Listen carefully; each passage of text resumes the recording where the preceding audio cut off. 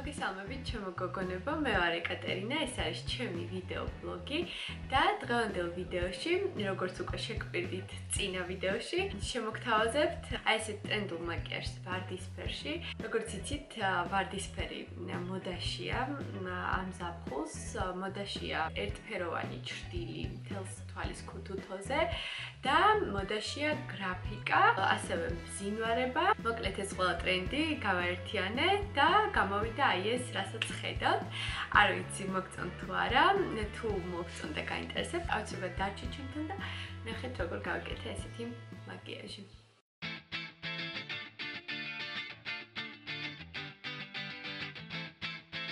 როგორც ყოველთვის, კარგად დატენიანებულ სახეზე დავიტან ტონალურ კრემს ბრტყელი ფუნჯის საშუალებით. გოგოებო, ამ ტიპის ფუნჯით ძალიან სწრაფად ვერ იმუშავებთ, თუმცა ტონი უფრო სქლად იდება სახეზე და უკეთესად ფარავს სხვადასხვა ლაქებს, ვიდრე მაგალითად დუაფიბრას ტიპის ფუნჯით მუშაობის დროს.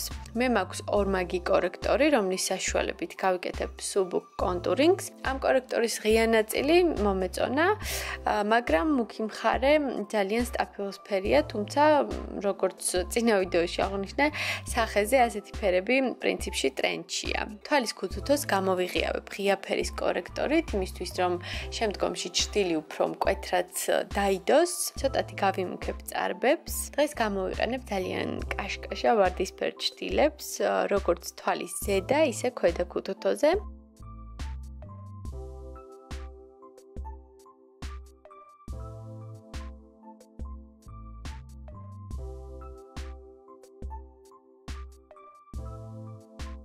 შავი ლაინერით შევიღება ქვედა საცრემლე ხაზს, ასევე მისი საშუალებით ვიქმნი ხშირი ქვედა წამწამების ეფექტს და ავდივარ ზედაკუთთოს გარე კუთხისკენ, სადაც ვიხატავ ისარს.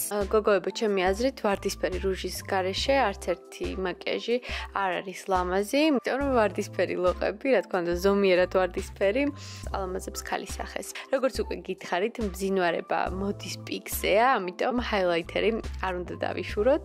ტუჩებზე გამოვიყენე ტუჩისფერი კონტური, ღია ვარდისფერი მატე პომადა და გადავისვი მძინვარე თითქოს გამჭვირვალე ტუჩსაცხი.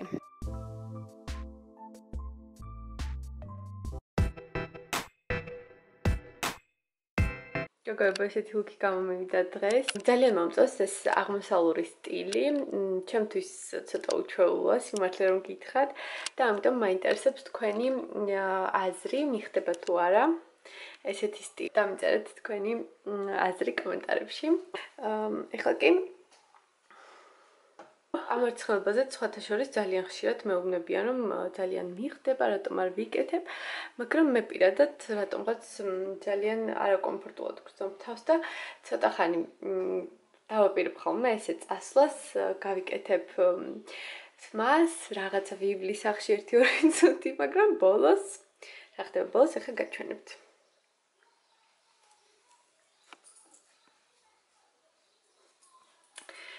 ბოლოს ესე დავიშლი ხოლმე თმას და ესე გავდივარ სახლიდან.